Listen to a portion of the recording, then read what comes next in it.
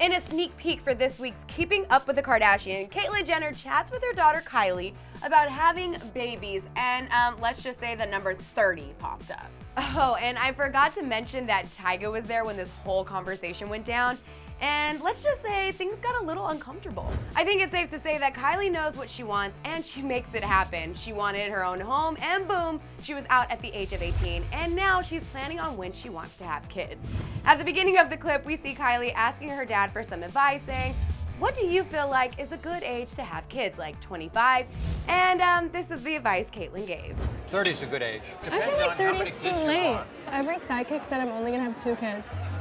When you have one, you might as well have two. Caitlyn makes a really great point. I think 30 is a great age. Besides, Kris Jenner would never allow Kylie to get pregnant at 25. There are still way too many checks to be collected. But then Caitlyn gives KJ more advice that kind of caught the 18-year-old off guard. And you want your kids close together. That's why we had you. You might as well have the two so they got somebody to grow up with. Oh, okay. This might as well. So I'm just. And then somebody for Kendall to I'm grow up with. To, yeah. I'm gonna keep Kendall company.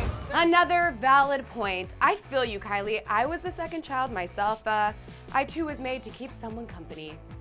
I can live with that. But after that, it gets a little shocking. Caitlyn tells Kylie she needs her to have three kids so that she can have her plan 30 grandchildren. And I have to say, Kylie's reaction is priceless.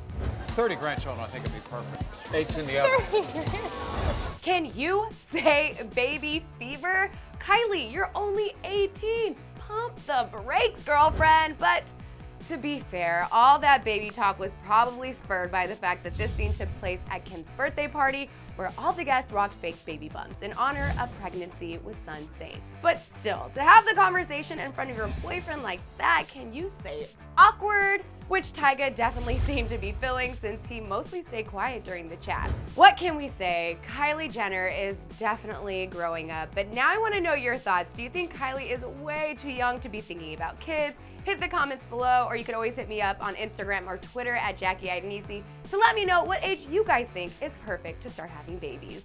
After that, you can always click right over here to see Kylie and Kendall battle it out. Who is the best dressed? on Dirty Laundry.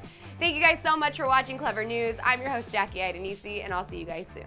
Before you go, click to the left to see a super awesome throwback video of Katy Perry, or you can always click right to check out Jocelyn and Lily finally getting mirrors. Hip, hip, hooray.